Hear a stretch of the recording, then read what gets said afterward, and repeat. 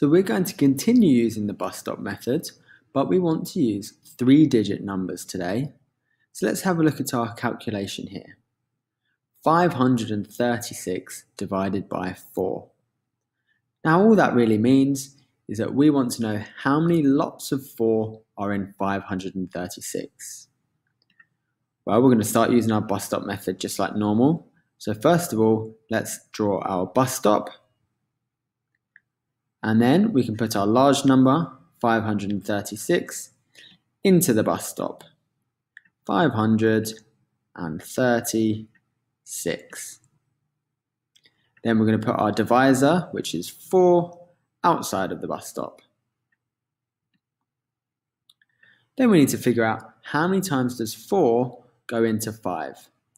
Now, we've got one group of 4, we know that, but there's going to be some left over as well. So let's try and figure out how many groups of 4 are in there.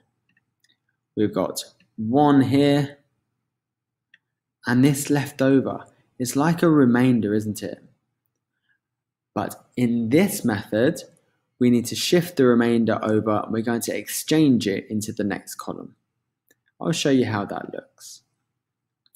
So we know there's one group of four in five, so we can do the one, but then our one left over, we're going to exchange it into the next column. So we just put it here to help us remember. So next then, we're going to see how many fours there are. Not in three, but actually in 13, because we're going to use this one that we've exchanged. So how many fours are there in 13? Well, that doesn't quite work either, does it? So if we get our 13 ready, 4, 5, 6, 7, 8, 9, 10, 11, 12, 13, and we try to get some groups of 4, we'll figure out how many we've got and how many we'll have left over. So we've got one group of four here, another group of four here, and we have another group of four here. But we still have one left over.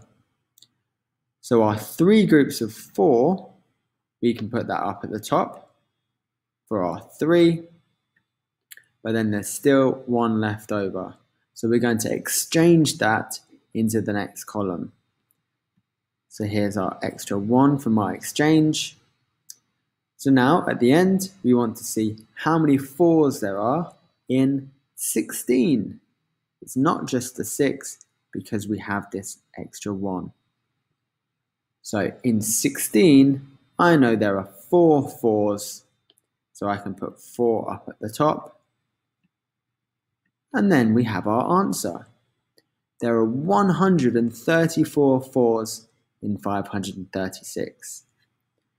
So 536 divided by 4 equals 134.